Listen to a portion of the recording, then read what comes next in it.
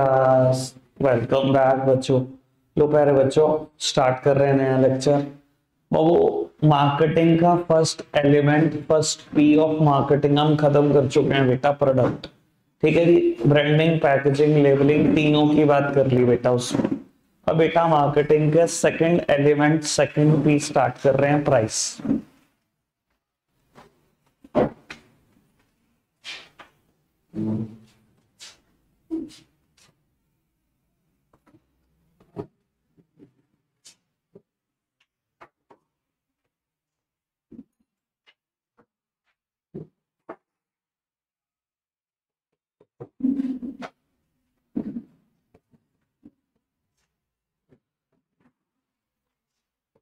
लो बेटा, सामने देखो सब।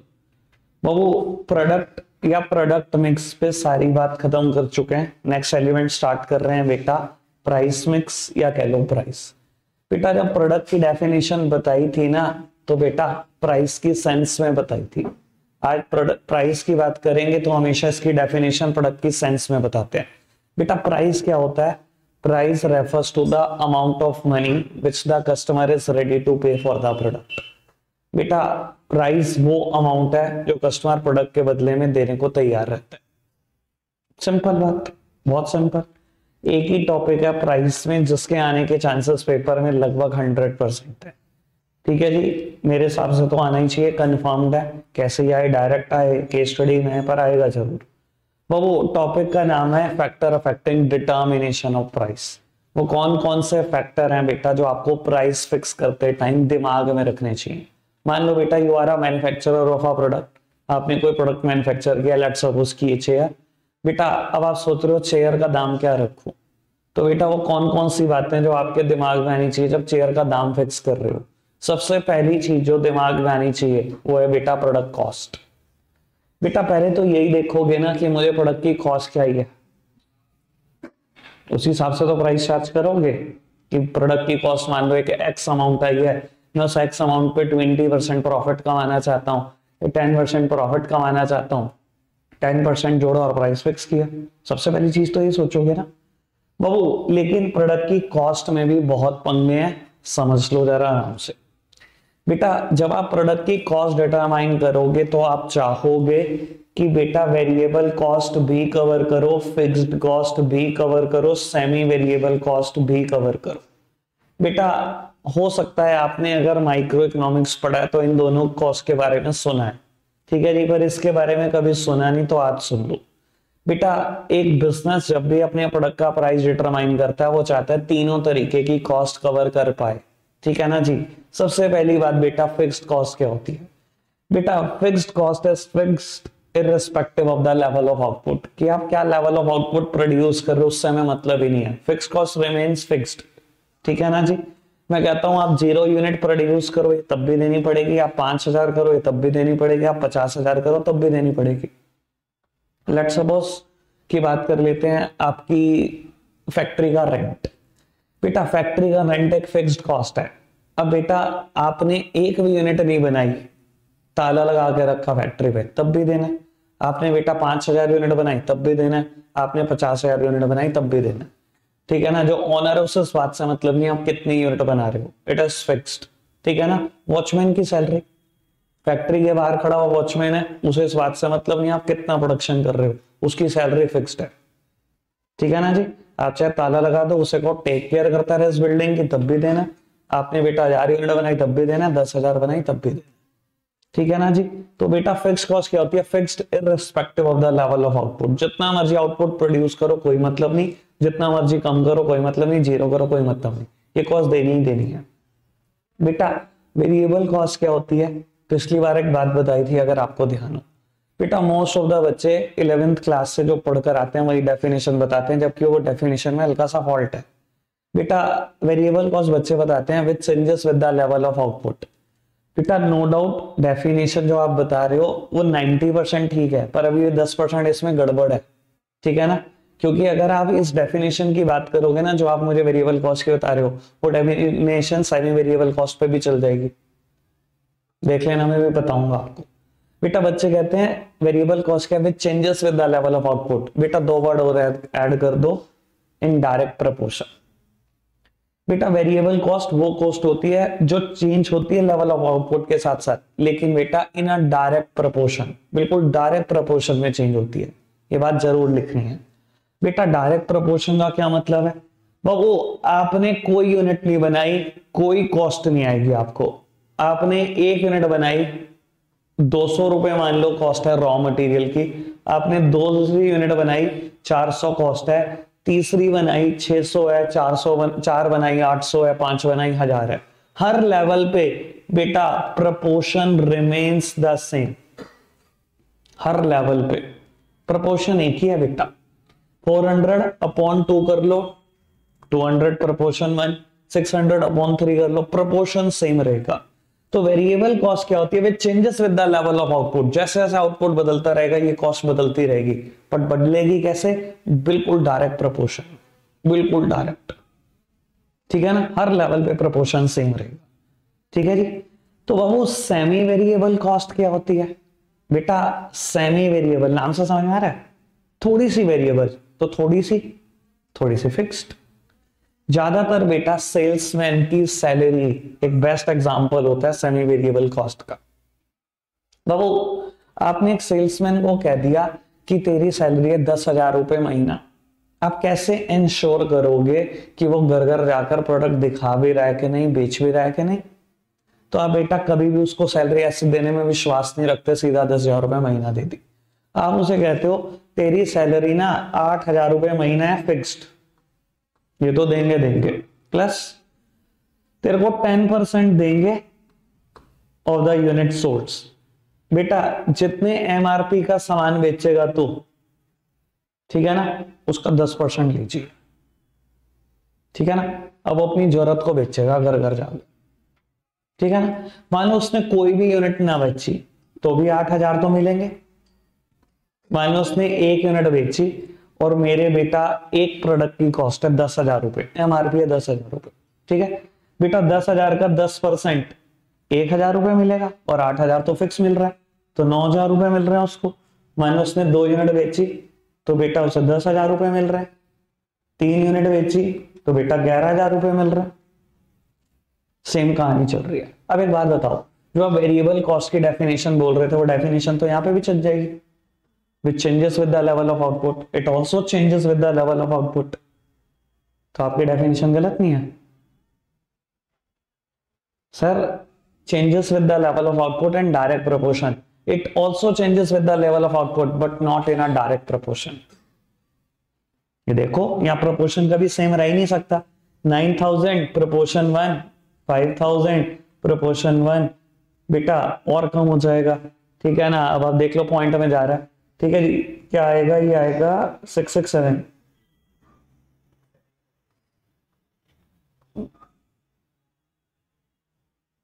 अच्छा जी यही आएगा. इलेवन थाउज़ेंड डिवाइडेड ठीक है जी? कोई दिक्कत, कोई परेशानी तो नहीं? बेटा, एक changes with the level of output but not in a direct proportion changes with the level of output in a direct proportion ठीक है जी? तो बेटा, एक मैन्युफैक्चरर चाहता है जब भी वो प्राइस फिक्स करे, किसी भी कॉमोडिटी का, तीनों तरीके की कॉस्ट चार्ज कर ले। फिक्स्ड भी वेरिएबल भी सेमी वेरिएबल भी। समझ में आती है बेटा बात? ठीक है? पहला फैक्टर कंसीडर कर लिया प्राइस फिक्स करते टाइम चलो जी। आगे बढ़ाओ। Next heading is the utility and the demand बाबू, दो अलग अलग बातें हैं, दोनों की अलग अलग चर्चा करनी है, सुनना। बाबू, पहले डिमांड की बात करते हैं, फिर यूटिलिटी की। बेटा डिमांड अगर आपने कोई ऐसा प्रोडक्ट बनाया है जिसकी डिमांड इलास्टिक डिमांड है। इलास्टिक समझते हो ना? कि हल्का सा प्राइस बढ़ानी की डिमांड काफ़ी गिरेगी।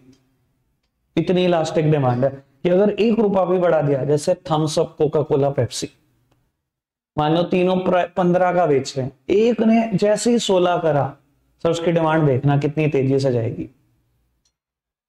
ठीक है ना? लोग कह रहे, छोड़ नहीं खुल ले, पंद्रह का आठ तुला पेप्सी दे दे कोका कोला नहीं पीनी। मानते हो ना? अगर आपने कोई ऐसा प्रोडक्ट बनाया जिसकी डिमांड इलास्टिक डिमांड है, यानी कि आपने एक रुपया भी प्राइस बढ़ाया तो डिमांड काफ़ी शिफ्ट होगी, थोड़ी बहुत भी नहीं होगी शिफ्ट बहुत कम हो जाएगी एकदम से। तो बेटा, ऐसे केसेस में प्राइस बढ़ाना ही नहीं है keep your price at low level अपने प्राइस को कम रखो। ठीक है जी? और अगर आपने कोई ऐसा प्रोडक्ट बनाया जिसकी डिमांड इन इलास्टिक है? इन इलास्टिक समझते हो? इन इलास्टिक खींची नहीं जा सकती। बाबू, जो मर्ज़ी प्राइस कर दो डिमांड शिफ्ट नहीं हो सकती। मान लो ऐसा प्रोडक्ट बना दिया आपने। सर ऐसे केसेस में keep your price at high level ठीक ठाक पैसे कमाओ। जब डिमांड में जाना ही नहीं है कहीं तो बेटा पैसे ही बना लो। समझ में आई डिमांड की दोनों बातें? ठीक है जी? वो दूसरी हेडिंग है यूटिलिटी इसी में ही है। ठीक है जी, आराम से समझ लो बात। बेटा कस्टमर ना आपका प्रोडक्ट तब बाय करता है जब जो वो प्राइस पे कर रहा है। उसको लगता है प्राइस के कंपैरिजन में मुझे उतने यूटिल्स का सेटिस्फेक्शन मिल रहा है। तब तक तो वो खरीदता रहेगा। लेकिन अगर उसे गलती से भी लगा ना कि यार मैं प्राइस तो पे कर रहा हूँ 500 पर मुझे नहीं लगता इस, ये मेरे को इतने रुपए के बराबर का सेटिस्फेक्शन दे रहा है। तो बेटा वो बाय नहीं करेगा कभी भी प्रोडक्ट आपका। ये बेटा हमारे साथ भी है। कई बार हम कोई चीज़ खाते हैं, ठीक है ना? हम कहते हैं, यार वर्थ है पाँच सौ रुपए देना। वर्थ है चार सौ रुपए देना। वर्थ है तीन सौ रुपए देना। हम कहते हैं, खाते ही कहते हैं, यार, क्या बना रखी है भाई साहब? ठीक है? और बेटा कई बार कई बार हम कहते हैं, अरे भाई, ये तो पचास की भी नहीं होनी चाहिए जिसके हम पाँच सौ पे कर रहे वर्थ ही नहीं है। कबाड़ा बना रखा है, कुछ भी कहते हैं। कहते हैं ना ऐसा?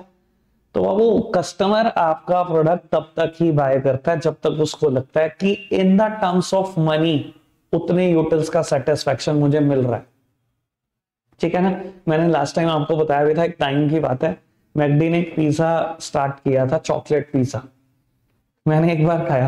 यार, दोबारा कभी नहीं खाया ठीक है ना? बिल्कुल झंड मैंने कहा, इसकी तो 350 के आसपास की अप्रोक्स था।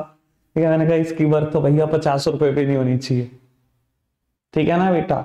तो कस्टमर बेटा बाय नहीं करता बार बार ये चीज़ें। एक बार बाय करेगा, उसको लगेगा, कितना सेटिस्फेक्शन उसको नहीं मिला, छोड़ देगा, दोबारा कभी नहीं बाय करेगा। ठीक है ना? और बाबू, ये अंदाज़ा आपको होने लग जाता है रिपीट ऑर्डर से। कि उसको सेटिस्फेक्शन मिल रहा है कि नहीं? अगर कभी कोई रिपीट ऑर्डर नहीं आ रहा महीनों महीनों तक तो बेटा कंपनियाँ खुद ब खुद प्रोडक्ट बंद कर देती हैं, या प्राइस गिरा लेती है। वो पिज्जा कहाँ गया? किसी को नहीं पता। छह महीने भी नहीं लगे। कहा गया? पता नहीं है। मार्केट से आउट। समझ में आई बेटा बात? क्लियर है? पहली बात समझ में आएगी प्रोडक्ट कॉस्ट देन बेटा यूटिलिटी एंड डिमांड दोनों लिखनी है इसमें बातें। पहले डिमांड की बात एक पैराग्राफ में, फिर यूटिलिटी की बात एक पैराग्राफ ठीक है जी? बाबू third heading is extent of competition in the market बाबू, अगर आपने कोई ऐसा प्रोडक्ट बनाया है जिसका कोई कंपटीशन ही नहीं है दूर दूर तक सिंपली मीन्स आपकी मोनोपोली है उस प्रोडक्ट में। कोई नहीं है, आसपास भी नहीं टकर रहा कोई। और वो क्या करें? Keep your price at high level ठीक ठाक कमाओ मोनोपोली है, कोई कंपटीशन ही नहीं जब कंपटीशन आएगा तब भी तो गिराओगे ना रेट तो अभी तो खा लो, जब तक मोनोपोली है। ठीक है जी? और मान लो आपने कोई ऐसा प्रोडक्ट बनाया जिसकी पहले से ही बड़ी कट थ्रोट मार्केट है। मार्केट ही बहुत खतरनाक है। कॉम्पिटिटर बैठे दस पंद्रह तो बेटा, ऐसे केसेस में keep your price at the very low level बेटा इवन आप अपनी कॉस्ट पर बेचो। चोर में कमाने की मत सोचो। तभी टिकोगे मार्केट में, वरना टिक नहीं पाओगे। ठीक है ना जी?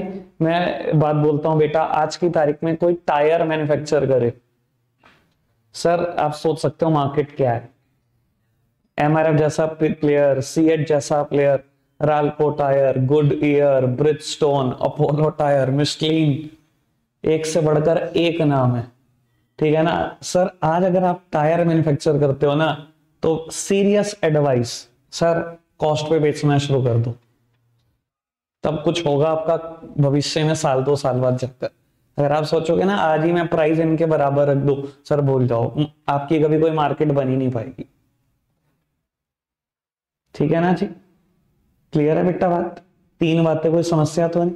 बाबू fourth heading is government and legal regulation बाबू, अगर आपने कोई प्रोडक्ट बनाया, मेरी तरफ़ देखते रहोगी। अगर आपने कोई प्रोडक्ट बनाया और बेटा उसका प्राइस अंधाधुन बढ़ाई जा रहे हो, बढ़ाई जा रहे हो, बढ़ाई जा रहे हो। और बेटा गवर्नमेंट ने अगर आपके बिज़नेस में इंटरवेंशन कर दिया है और उसका दाम फिक्स कर दिया है तो बेटा फिर तो क्या ही बात रहेगी कि मैं क्या ही प्राइस चार्ज करूँ। मैं कहता हूँ बेटा आप बनाते हो सॉल्ट ठीक है? नेसेसिटी है। ठीक है? नेसेसिटी है, मानते हो? बेटा शुगर के बिना ज़िंदा रह सकते हो। सॉल्ट के बिना नहीं। कुछ दिन के बाद जब आयोडीन खत्म होने लगेगा ना तो पता लगेगा। ठीक है ना? शुगर ये कहने की बात है मिथ है। हमारी फैमिली कहती है, नहीं, दिन में एक बार चीनी खाओगे, कुछ नहीं होता। कुछ भी नहीं होता। मैं ऐसे लोगों को जानता हूँ पंद्रह पंद्रह साल से शुगर का एक दाना कंज्यूम नहीं किया, बहुत ज़िंदा है और हमारे से ज़्यादा एनर्जी लेके बैठे हैं और पचास पचास साल एज है, लेकिन ऐसे लगते हैं जैसे पच्चीस साल, छब्बीस साल उनकी एज है। इतना शाइन होता है शुगर ना खाने वाले के चेहरे पे। ठीक है ना? वो, लेकिन नमक के बिना ज़िंदा तो नहीं रह सकते। इजेंशियल गुड्स है। बेटा नॉर्मली गवर्नमेंट किसी भी बिज़नेस में इंटरवेंशन नहीं कर सकती। लेकिन अगर आप इजेंशियल गुड्स बेचते हो तो बेटा गवर्नमेंट आपके बिज़नेस में इंटरवेंशन कर सकती है प्राइस को रेगुलेट कर सकती है प्राइस डिटरमाइन कर सकती है। अब ये नहीं कह सकते कि कल तक मैं नमक बेचता था चालीस रुपए किलो, आज से अस्सी रुपए किलो है। नहीं बेटा, कभी भी नहीं कर सकते आप ये काम। गवर्नमेंट करने नहीं देगी आपको। गवर्नमेंट ने क्या किया? इंटरवेंशन कर दी और मान लो आपके प्रोडक्ट का दाम फिक्स कर दिया गवर्नमेंट ने बयालीस रुपए। तो सर क्या मेरे सामने मुद्दा है कि प्राइस क्या फिक्स करूँ? अगर गवर्नमेंट ने रेगुलेट कर ही लिया है प्राइस तो बेटा गवर्नमेंट के दाम पर बेचो, खत्म कहानी। सिंपल सी बात। ठीक है ना बेटा? बाबू गवर्नमेंट हर एसेंशियल कॉमोडिटी के बिज़नेस में इंटरवेंशन कर सकती है। ये गवर्नमेंट के पास अधिकार हमेशा से है और हमेशा रहेगा। ठीक है ना? एक इंडिया में कानून है इजेंशियल कॉमोडिटी एक्ट 1955 ये गवर्नमेंट को राइट देता है।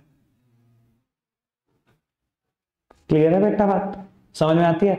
मैं कहता हूँ, किसी ने बेटा कोई ड्रग बना दी जो लाइफ सेविंग ड्रग है, ठीक है? और उसने कहता नहीं, ये तो मैं एक टैबलेट एक लाख की बेचूँगा। और गवर्नमेंट ने रेगुलेट कर दिया, उसके बिज़नेस में इंटरवेन किया और प्राइस को रेगुलेट करके फिक्स कर दिया, पाँच सौ रुपए पर टैबलेट तो सर, अब पाँच सौ एक नहीं हो सकता। अब मेरे पास ये कोई मुद्दा थोड़ी है कि क्या प्राइस फिक्स करो? गवर्नमेंट ने जब रेगुलेट कर ही लिया तो उसी प्राइस पर बेचना पड़ेगा। ठीक है जी? चार हेडिंग कोई समस्या तो नहीं किसी भी बच्चे की। बढ़ाए बात को आगे। बाबू fifth heading is profit maximisation नहीं प्राइसिंग ऑब्जेक्टिव इसमें फ़र्स्ट हेडिंग है, इसमें चार हेडिंग है अलग अलग ठीक है ना जी? बाबू प्राइसिंग ऑब्जेक्टिव पहली हेडिंग है प्रॉफिट मैक्सिमाइजेशन बेटा, अगर आपका ऑब्जेक्टिव ऐसा है कि आपको प्रॉफिट मैक्सिमाइज करना है। तो सबसे पहले ये देख लो कि प्रॉफिट मैक्सिमाइज आपको शॉर्ट रन में करना है या लॉन्ग रन में? शॉर्ट टाइम में करना है या लॉन्ग टाइम में? बेटा, अगर आप शॉर्ट रन में प्रॉफिट मैक्सिमाइज करना चाहते हो, फिर तो देखो कोई मुद्दा ही नहीं keep your price at high level अगर आपको साल दो साल में अमीर होना है साल दो साल में प्रॉफिट बढ़ाना है, सब कोई रास्ता है क्या? प्राइस कम रख के तो नहीं कमा पाओगे ना? Sir keep your price at high level सौ की चीज़ पाँच सौ की बेचो, पाँच सौ की पाँच हज़ार की। दुनिया को लूटो, तभी शॉर्ट रन में अमीर हो सकते हो। ठीक है जी? बहु, और अगर आपका एम है मुझे प्रॉफिट मैक्सिमाइजेशन करना है बट इन लॉन्ग रन तो तो sir keep your price at low level very low level दाम को बेटा कम रखो। ठीक है ना? दाम कम रखोगे बेटा, ज़्यादा फुटफॉल बढ़ेगा। फुटफॉल बढ़ेगा, धीरे धीरे लॉन्ग रन में थोड़ा थोड़ा दाम बढ़ाकर कमा सकते क्लियर है बेटा बात? ठीक है जी? दोनों ही फिलोसफी वैलिड है। कहीं दुनिया की है, कुछ दुनिया की है। चल सबका ही रहे। ठीक है जी? कोई दिक्कत, कोई परेशानी तो नहीं। अभी तक बात समझ में आ रही है? चलो नेक्स्ट हेडिंग पढ़कर बताना। ऑप्टेनिंग मार्केट शेयर लीडरशिप बेटा, अगर आपको मार्केट शेयर में लीडर बनना है कहता है ऑप्टेनिंग मार्केट शेयर लीडरशिप बेटा मार्केट शेयर में लीडर बनना है ना? Keep your price at low level market share सब समझते होंगे, मैंने बहुत बार एग्जांपल दिया है। नहीं भी समझते, एक बार बात कर देता हूँ थोड़ी सी। ओ जियो 5G के लॉन्च से पहले। ठीक है? मैं वो बात करना जा रहा हूँ जब जियो 5G 4G नहीं थे मार्केट ठीक है जी? बेटा, एक बहुत ठीक ठाक शेयर थर्टी परसेंट के अप्रोक्स वोडाफोन का था। ठीक है? सुना है ना? सबने सुना है? बेटा थर्टी परसेंट के अप्रोक्स शेयर भारतीय एयरटेल यानी कि एयरटेल का था। ठीक है जी? और बहुत ठीक ठाक शेयर बेटा 25 से 30 परसेंट के बीच में ही आइडिया का था। ठीक है जी? और बेटा बचा हुआ जो भी पंद्रह परसेंट है, उसमें बेटा चुटरम बुटरम बहुत कंपनियाँ थी, टाटा डोकोमो और यूनिनोर एयरसेल, और भी टेलीकम्युनिकेशन कंपनियाँ, और भी हो सकती है जो आपने सुनी हो। ठीक है ना जी? तो ये हालात थे। ठीक है? मार्केट शेयर का मतलब मेरा ख्याल सब समझ गए होंगे कि अगर मार्केट में 100 कस्टमर हैं तो 30 कस्टमर एयरटेल पे थे 30 बेटा वोडाफोन पे थे 25 आइडिया पे थे और बच्चे का 15 परसेंट छोटी मोटी अदर ब्रांड्स पर थे। ठीक है जी, ये हालात थे। बाबू, अब सोचो ना, जियो जब आया तो उसका मान लो टारगेट था, उसके दिमाग में ऑब्जेक्टिव था कि मुझे मार्केट शेयर में लीडर बनना है। मैं चाहता हूँ मेरा मार्केट शेयर साठ परसेंट हो जाए। मुझे सबको खाली करना है मार्केट से। सौ लोग जाए, निकले मार्केट में तो साठ साठ लोग मेरी सिम खरीदे। मेरे रिचार्जेस पूछे, दूसरे ब्रांड को बोल जाए तो सर, कैसे कर पाया ये वो? सिंपल बात keep your price at low level और इवन फ्री बात तो। अगर मार्केट शेयर में लीडर बनना है तो। बन गया क्या नहीं? बेटा अदर ब्रांड तो मुझे लगता है बचा ही कुछ नहीं। ठीक है ना? बीएसएनएल के पास होगा, आधा परसेंट के आसपास टेक बाकी तो नज़र नहीं आते। वोडाफोन आइडिया मर्ज हो गए, इतने मुकदमे हो गए इनके ऊपर, इतने कर्जे चढ़ गए। इनका भी मार्केट शेयर कुछ नहीं बचा, पाँच एक परसेंट भी नहीं होगा। ठीक है जी एयरटेल का है ठीक ठाक चलो दस बारह पंद्रह परसेंट बाकी, अस्सी परसेंट ज़्यादा मार्केट शेयर अकेला उठा के बैठा हुआ जियो। सब खत्म, कोई रास्ता ही नहीं बचा। कोई ऑप्शन ही नहीं है लोगों के पास। तो सर, अगर मार्केट शेयर में लीडर बनना है, एक ही तरीका है बनने का। Keep your price at low level ठीक है जी? बाबू थर्ड हेडिंग पढ़ना। Surviving in a competitive market बेटा, इसकी थर्ड हेडिंग और थर्ड मेन हेडिंग दोनों लगभग एक जैसी है। थर्ड मेन हेडिंग थी extent of competition in the market और ये हेडिंग है surviving in a competitive market लगभग एक जैसी बात। बेटा, अगर आप किसी ऐसी मार्केट में एंट्री ले रहे हो जहाँ कंपटीशन भर भर के है सर कैसे टिक सकते हो मार्केट है प्राइस लो रख के। इवन इसके लिए एक बात बोली जाती है clear your stock at BOP अपने स्टॉक को क्लियर करो एट बीओपी बीओपी मतलब best obtainable price best obtainable price मतलब सिंपली बोलू तो एट कॉस्ट कॉस्ट पर बेचो, तभी मार्केट में टिक सकते हो। ठीक है ना जी? जो बाबा जी ने एंट्री ली, ऐसी तो ली, पतंजलि। भैया मार्केट तो देखो Colgate Closeup Pepsodent Dabur red ये established brand cut throat competition और आप एंट्री ले रहे हो। ठीक है ना जी? बाबा जी ने वैसे तो इंडियंस के घुटने पे वार किया हुआ है। मैं बताता हूँ हर बार। उनकी एक ही फिलोसफी है। बेचना सब कुछ मैंने भी कूड़ा है। बस हर चीज़ में ये बता देना कि आयुर्वेद है, बस। इंडियंस को आयुर्वेद बहुत पसंद है। बहुत अच्छा लगता है। नहीं लगता बस नीम है ना, बस, सब कुछ इसी में है प्रोडक्ट में। बस, उन्होंने आयुर्वेद कर करके ऐसी ऐसी कर दी। इंडियंस खुश है? अच्छा जी, बहुत बढ़िया। सब प्रोडक्ट बेच रहे हम। आयुर्वेद कर करके सारा F M C G. Khadi Khadi brand पहनो जी पहनो, कल से पहनो। कल सब दो तीन आएँगे बेटा। चलो जी। बाबू, ओके है इतनी बात?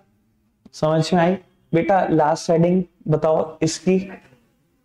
बेटा अटेनिंग प्रोडक्ट क्वालिटी लीडरशिप बस बस बस भाई, हो गया टॉपिक खत्म ये, आगे बढ़ाओ। अटेनिंग प्रोडक्ट क्वालिटी लीडरशिप बेटा, कहता है, अगर आपको प्रोडक्ट की क्वालिटी में लीडर बनना है, ये ऑब्जेक्टिव आपका। देखो बेटा, अगर क्वालिटी में लीडर बनना है ना तो क्वालिटी प्रोडक्ट बेटा हाई कॉस्ट पर आते हैं। और उसको कवर करने के लिए आपको हाई प्राइसेस चार्ज करने ही पड़ेंगे। क्वालिटी में लीडर बनना है तो बेटा हाई प्राइसेस चार्ज करो। बड़ी सिंपल सी बात है बेटा ऑडी क्वालिटी प्रोडक्ट बनाता है। अब क्वालिटी प्रोडक्ट बनाने के लिए बेटा सीधी सी बात है, जो प्रोडक्ट खरीद रहा है, वो भी हाई कॉस्ट के हैं। उसको कवर करने के लिए हाई प्राइसेस तो चार्ज करने पड़ेंगे। हार्ले डेविडसन सोलह सोलह लाख की बाइक है। ये क्वालिटी प्रोडक्ट बेचना है तो बेटा बहुत ज़्यादा कॉस्ट लगानी पड़ेगी। और कॉस्ट लगाओगे बहुत ज़्यादा तो बिना हाई प्राइसेस चार्ज करे वो कॉस्ट कभी कवर ही नहीं होगी। ठीक है क्लियर है बेटा बात? कोई दिक्कत, कोई परेशानी तो नहीं? बढ़ाए बात को आगे। बाबू लास्ट हेडिंग जो है मार्केटिंग मेथड यूज्ड सबसे काम की हेडिंग और बेटा, ये वाला टॉपिक खत्म। बाबू, अब वो कहता है, आपने मार्केटिंग का कोई तरीका लगाया हो? कोई भी तरीका। कहता सबकी कॉस्ट जोड़ देना। देखो, हमें लगता है कि कुछ चीज़ें कंपनी की तरफ़ से हमें फ्री मिलती हैं। सिर्फ़ दुनिया में फ्री कुछ नहीं है। आपका मुगालता है मैन्युफैक्चरर हर कॉस्ट चार्ज करता है, हर कॉस्ट एक बात बताओ, आज आप एक्टिवा खरीद कर लाए, ठीक है? लिखा हुआ है थ्री सर्विसेज़ फ्री सच में फ्री ये जो एक लाख पाँच हज़ार रुपए दे के आते हो ना, जब कंपनी ने प्राइस फिक्स किया, एक लाख पाँच हज़ार रुपए तो खाली वो पाँच बातें ध्यान में नहीं रखी जो आपने पढ़ ली। ये छठी बात भी ध्यान में रखी। उसने जो जो फ्री दिया, सबके पैसे चार्ज कर दिए। चार्ज हो चुके पैसे। आपको पता है ये कंपनी तक कैसे आते हैं? मतलब आपके ऑथोराइज डीलर तक कैसे आते हैं? मैं आपको समझाता भी हूँ, पिछली बार भी समझाता सुन लो। आज आप सर्विस कराने जाओ, ठीक है? सहारनपुर में स्वाति होंडा पर, ठीक है जी? और अपनी सर्विस बुक ले जाओ। सर्विस बुक में बेटा फ्री सर्विसिंग फ्री के बेटा कहीं ना कहीं एक कूपन होते हैं जो परफोरेटेड लाइंस होती हैं। वो क्या करते हैं बेटा? वो कूपन फाड़ते हैं और रख लेते हैं। ठीक है जी? जब आपने एक लाख पाँच हज़ार रुपए परचेज के टाइम पर दिए थे ना, मान लो स्वाति होंडा को उसमें से दस हज़ार रुपए या पंद्रह हज़ार रुपए मिलते। ठीक है? तो उसने पंद्रह हज़ार रखे, उसकी ज़िम्मेदारी क्या होती है? नब्बे हज़ार रुपए का चेक भेज दो ऊपर। ये ज़िम्मेदारी होती है। नब्बे हज़ार का चेक पहुँच गया कंपनी का ठीक है? उसका जो मार्जिन था स्वाति होंडा को मिल गया। अब ये नब्बे हज़ार रुपए में सर्विस के कॉस्ट वगैरह सब कुछ पहुँची हुई है कंपनी के पास। अभी कंपनी से कैसे क्लेम करते हैं स्वाति होंडा वाले, बता देता हूँ। एक महीने में जितनी भी सर्विसेज़ करेंगे, सबके सर्विस कूपन रखते जाएँगे। सर्विस कूपन इकट्ठा करके एक महीने बाद कंपनी देते हैं। कंपनी से जो भी उनका सर्विस का तय होगा, हर महीने आता है। ऐसे आते हैं वैसे वापस। तो कुछ भी फ्री नहीं है बेटा। एक बात बताओ सैमसंग हमें वारंटी देता है हमारे फोन्स पर वन ईयर की। सच सच बताना वारंटी फ्री होती है। कुछ भी कुछ भी फ्री नहीं होता।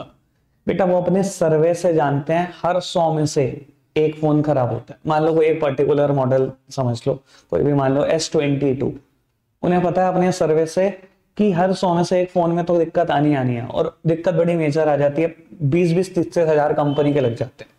कंपनी को लगा अच्छा तीस हज़ार रुपए लग जाते हैं हमारे। सौ प्रोडक्ट बेचने में एक में कमी आती है। डिवाइडेड बाय हंड्रेड तीन सौ रुपए पर प्रोडक्ट कॉस्ट बढ़ा दो। तो जब प्राइस फिक्स होता है ना उसका, कि सैतालीस हज़ार उस सैतालीस हज़ार में तीन सौ पहले ही जोड़ चुके हैं वो। जो फ्यूचर में कमी आने वाली है, और वो भरेंगे अपने सर्विस सेंटर पर। प्राइस पहले ही जुड़ चुका होता है। नथिंग इज़ फ्री ना फ्री सर्विसिंग ना वारंटी, ना गारंटी। गारंटी का एग्जांपल याद है आपको? पिछली बार एच डी कार्ड। सहारनपुर की एक बड़ी फ़ेमस शॉप है। ठीक है? Dash electronic. ठीक है? बताऊँगा कभी नाम भी आपको। ठीक है? जब फ़ोन चलते थे ना हमारे टाइम पर स्मार्टफ़ोन नए नए आए थे या कीपैड फ़ोन तो हम एच डी कार्ड डाला करते थे। इतनी मेमोरी नहीं होती थी इंटरनल इंटरनल मेमोरी तो ऐसे होती थी, सोलह जीबी आठ जीबी ठीक है ना? एच डी कार्ड डालते थे चौसठ जीबी का, एक सौ अट्ठाईस जीबी का। तो एक बार एच डी कार्ड खरीदने गया तो मैंने पूछा, जैसे टू फिफ्टी सिक्स जीबी का एच डी कार्ड कितने का तो उन्होंने मेरे को कुछ प्राइस बताया, एक अमाउंट छः सौ रुपये का लेट सपोज़ मुझे नहीं पता, अभी याद नहीं है छः सौ रुपये का। ठीक है जी? तो मैंने कहा इसमें गारंटी है कि नहीं है? कहता गारंटी नहीं है। कहता गारंटी वाला चाहिए तो नौ सौ का, दो साल की गारंटी मैंने कहा अच्छा। तो मैंने देखा पसंद किया मैंने कहा ठीक है जी आप गारंटी वाला दे दो। वही एस डी कार्ड उसने दिखा, दिखाया था मुझे। ब्लैक मार्कर उठाया उस पर लिख दिया बेटा टू ईयर वारंटी अपने छोटे से क्योंकि उसका सिंबल है वो सिग्नेचर करे कहते लाओ नौ सौ।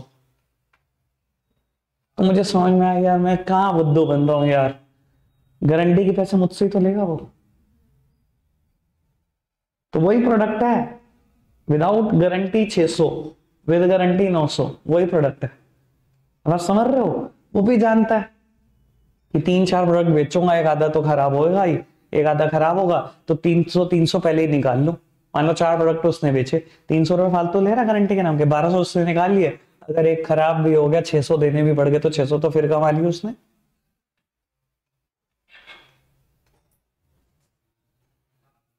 समझ रहे हो ना बेटा? नथिंग इज़ फ्री तो जो भी आप मार्केटिंग का तरीका ढूंढ रहे हो बेटा सबके पैसे जुड़ते सबके पैसे। ठीक है जी? कोई दिक्कत, कोई परेशानी तो नहीं? ठीक है ना? कई बार कस्टमर की डिमांड होती है, सर, मेरे प्रोडक्ट को ना ऐसे नहीं, ऐसे पैक कर दो। आपको नहीं लगता कि पैकेजिंग की कॉस्ट भी निकाल लेते होंगे वो? या आपको एक्स्ट्रा ही बता देते होंगे अभी फाइव स्टार जनता पे चले जाओ आप और कह दो, ड्राई फ्रूट ट्रे पैक करानी है, ऐसे नहीं, ऐसे करानी है, इतनी बढ़िया करानी है। लेगा नहीं है पैसे? लेगा ना तो पैकेजिंग कैसे यूज़ कर रहे हो? क्या क्या फ्री दे रहे हो? सर, कुछ नहीं, सबके पैसे जोड़ते चले जाओ। हैं? क्या कह रहे हो भाई? अच्छा जानकारी निकलवा ली यार, कोई दिक्कत नहीं। चलो, ठीक है जी, बात समझ में आती है। रखते इतना ही, अगला टॉपिक शुरू करके भी फ़ायदा नहीं होगा। Bye bye